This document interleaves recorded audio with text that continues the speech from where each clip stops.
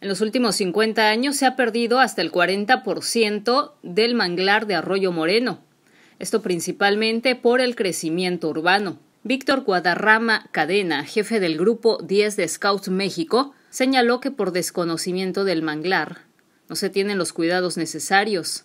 Y es que al menos 70% de especies marinas desoban en el mangle. Lamentablemente Arroyo Moreno la característica que tiene es que está pegado a la mancha urbana. Eso lo que hace es que presiona lo que es, lo que es el manglar.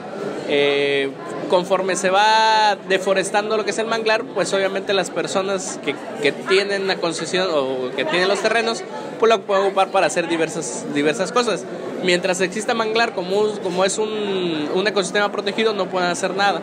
Entonces, hasta cierto punto, a ciertas personas les conviene que, que se vaya deforestando para poder hacer uso económico del suelo. Acusó que incluso la hidroeléctrica de Dos Bocas de la Comisión Federal de Electricidad descarga agua caliente en el lugar, perjudicando el entorno ecológico. Antes había manatíes, había nutria, etcétera, ahorita ya no, ya no hay. Sí hay peces, de hecho el sábalo, el sábalo que, que, pescan aquí enfrente en el mar, de eso va ahí. Entonces, es, es, es, un, es un lugar muy importante. Eh, de hecho, hace poquito atropellaron unos hormigueros en, en la Riviera Veracruzana. Es que todo ese es su hábitat.